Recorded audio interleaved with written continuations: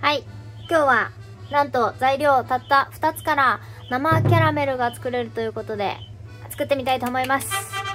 材料紹介。生クリームみりん。以上です。これを煮詰めて固めたら生キャラメルの完成。早速やっていきましょう。えー、ちなみに分量は1対1です。今日は 100cc ずつでやりたいと思います。はい。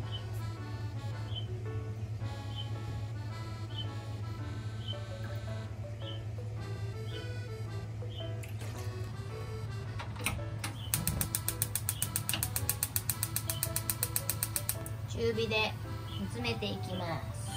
あんまり混ぜなくていいらしい。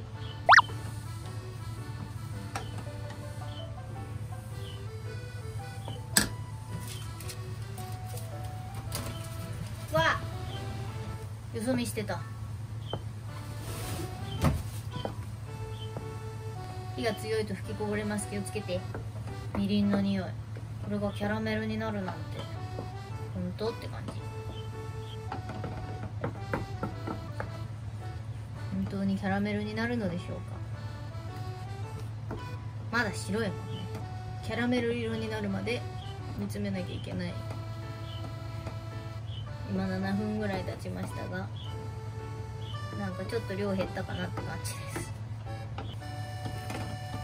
あでもなんかとろみがついてきた気がする。ホワイトソースの匂いがする。生クリームの匂いなのかな。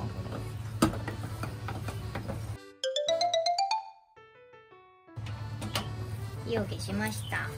ほらだいぶキャラメルっぽい色。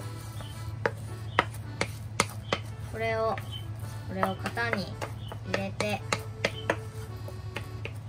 固めていきたいと思います。耐熱タッパーにクッキングシートを敷きました。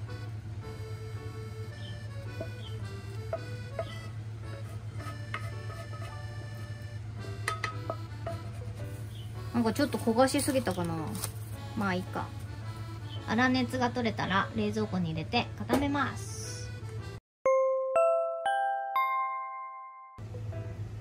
30分ぐらい冷蔵庫で固めました。でん。切ってみましょう。おお固まってる。いざ。お。キャラメルっぽい。いただきます。うん。おいしい。えなんでみりんと生クリームしか入ってないのにこんな味になるの？不思議。おすごい。ちゃんとキャラメル。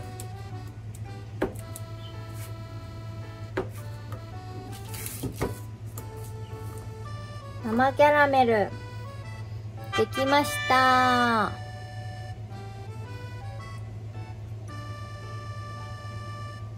君と僕は空